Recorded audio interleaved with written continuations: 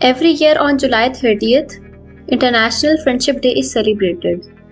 This year, the theme is Building New Friendships, Promoting Social Interaction, Intercultural Understanding, and Fostering New Connections Across Communities. An international celebration was first suggested by the World Friendship Crusade.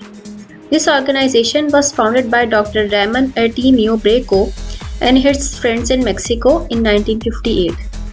They wanted to support the power of friendship and its importance in creating a culture of peace. So, in the same year, they decided to celebrate Friendship Week in Puerto Penasco and other places. The following year, they repeated the week and finished on 30th July, which they declared as Friendship Day. From there, celebrations of friendship grew and spread across the Americas, then the world, and eventually the United Nations declared an International Day of Friendship in 2011.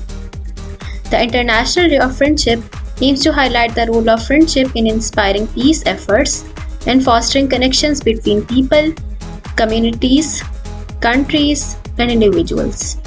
The International Day of Friendship on 30th July is not the only day celebrating friendship around the world. For example, Argentina, Brazil, and Spain celebrate Friendships Day on 20th July, while in India and the US, they celebrate it on the first Sunday in August. In Finland and Estonia, Friendship Day is celebrated on the same day as Valentine's Day, 14th February. Wherever it is celebrated, the celebrations are very similar. Friends meet up to spend time together. They may eat out or have a meal at home. They give each other small gifts, books, flowers, simple jewelry such as friendship band. Some people send each other cards and greetings online. Whatever form the celebration takes, the spirit is the same to remember the importance of friends and the power of friendship. Be good and explore yourself. Thanks for watching. Like and subscribe my channel for more videos and crafts.